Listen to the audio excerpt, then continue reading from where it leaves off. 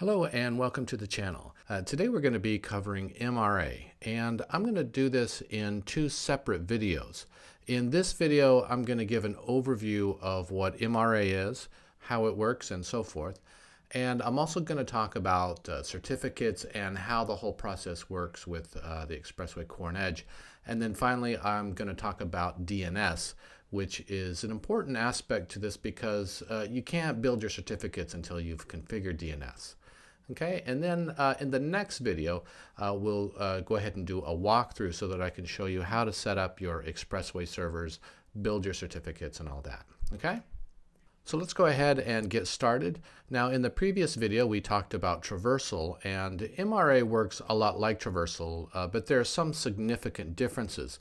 So let's start by talking about what MRA is in principle and uh, how it operates. So if you have a CCM and a firewall, Historically, if an endpoint was sitting outside that firewall, the way that the phone would register to the CCM was by using a VPN tunneling protocol. And that was fine, except the problem is that VPNs are not always easy to set up. And remote workers Uh, they may not always have access to the VPN. For example, a salesperson using Jabber on their PC, they might not have a VPN set up. And so, you know, for example, they wouldn't be able to do audio calling. Okay, so after the VCS came into the picture, what Cisco decided to do was to introduce uh, a new device called the Expressway Core and Edge. And these, again, are basically the same thing as the VCS, and we talked about this before, but the main difference being the licenses. And so these servers are then able to do mobile rem remote access, MRA, so that you don't have to use VPNs anymore. Okay, so the idea is to create a VPN-less uh, connection for this endpoint to be able to register into the network, uh, to the CCM. So how does MRA work? Well, because we're still working with the Expressway Core and Edge, we still need to set up that traversal communication between these two to get through the firewall. And the traversal zones are going to work pretty much the same as what I explained in the previous video. But there are some differences, which we're going to talk about in just a second. And then uh, you also have to set up MRA on the Expressway Core and Edge. Uh, but when you set up MRA on the core server, the MRA settings actually take over some of the control of the Expressway Core. And uh, what it'll do is it'll automatically set up a neighbor zone to your CUCM. Now, in addition, if you have an IM Presence server, it'll automatically set up a neighbor zone to your IM Presence server as well.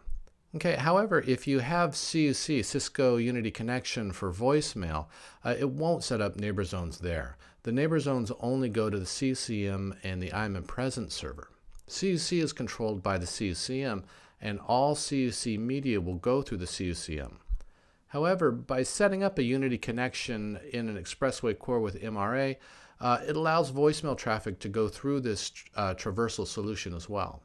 So what happens then when this endpoint tries to register? Remember, the idea is to provide a way for the endpoint to register to the CUCM. So when it tries to register, the Expressway Edge says, uh, hey Expressway Core, uh, someone's trying to register. And then the Expressway Core then says, hey CUCM, someone's trying to register. Okay, and then the CCM says uh, to the core, it says, okay, let them register. And the core then says to the edge, uh, okay, let them register.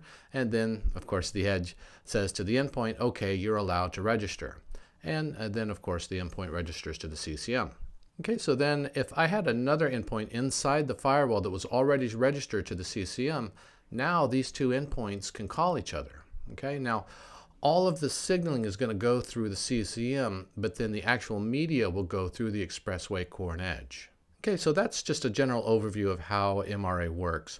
Now I want to spend just a few minutes talking about certificates because this is sort of a intricate and complex process which kind of trips up a lot of people. So let's talk about that for just a minute. Now, when you're dealing with certificates, you're going to have your server and this could be anything. It could be your Expressway core, your Expressway edge, a Cisco meeting server, or, or it could even be a file server or a web server. Okay, it doesn't matter. Certificates are pretty much the same no matter what kind of server you're dealing with. Okay, and then you're also going to have your certificate authority. Now, this could be a private certificate authority like a Microsoft certificate server, uh, which happens to be what I'm going to be using when I demo this in the next video. Or it could be a public certificate authority, meaning that it would be owned by some third party and uh, then you would just lease certificates from them. Uh, this would be companies like uh, VeriSign, for example. So what happens is the first thing you have to do is generate a certificate signing request, uh, also referred to as a CSR. And then you have to download that CSR so that you can turn around and then upload it to your certificate authority server. Then you're going to use your certificate authority server to sign your CSR. Okay, and then once you do this, uh, you then need to turn around and download that signed certificate along with a CA certificate.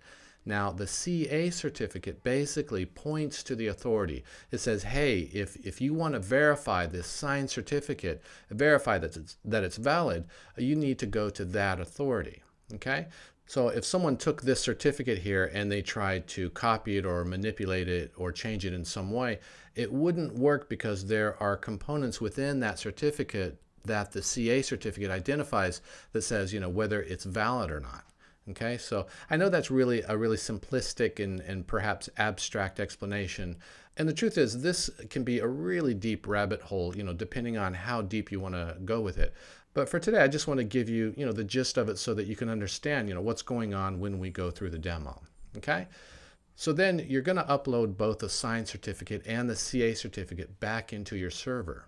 So that's the process generically. Uh, but when we're talking about setting up MRA, we have to remember that we actually have two servers, an Expressway Core and an Expressway Edge. So this means that we have to go through all of these steps twice, one for each server. Now, this is true. However, since we're going to use the same certificate authority server for both my core and edge servers, I can use the same CA certificate.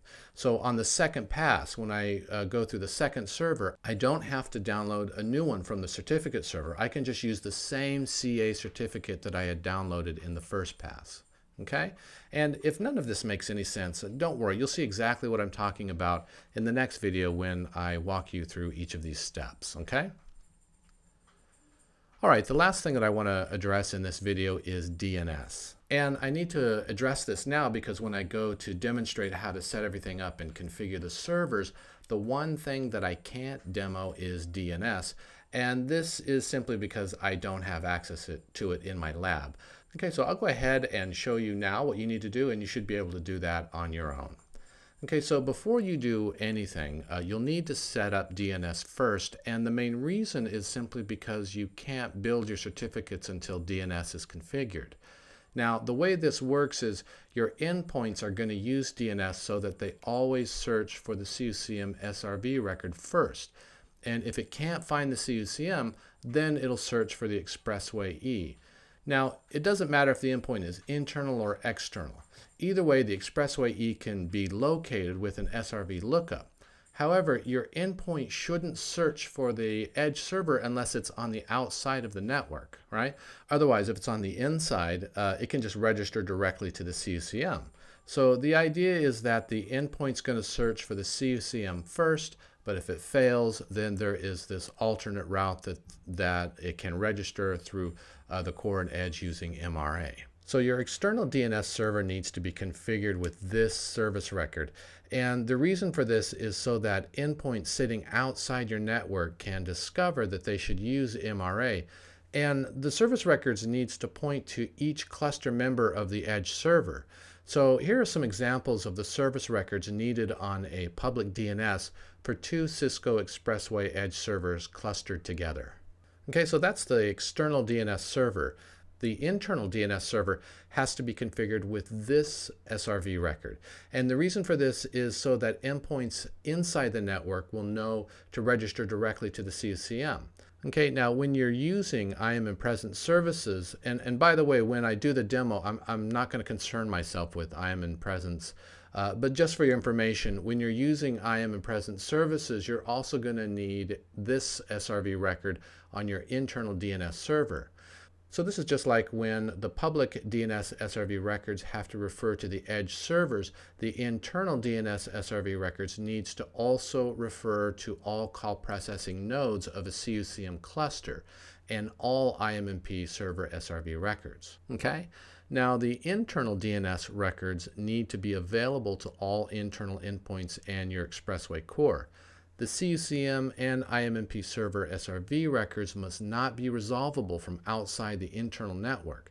Otherwise, your endpoints won't use MRA through your edge server, okay? So again, here are some examples of the SRV records you'll need for private DNS. This would be for two CUCMs and two IMMP servers clustered together. Okay, that'll do it for part one. Uh, again, in the next video, I'm going to walk you through each of the steps for setting up MRA on your Expressway Edge, your Expressway Core, and uh, setting up a user on the CCM. Okay, so definitely stay tuned for that. I'll be putting that out very soon. Otherwise, that's it for now. I'll see you guys in the next one. Thanks for watching.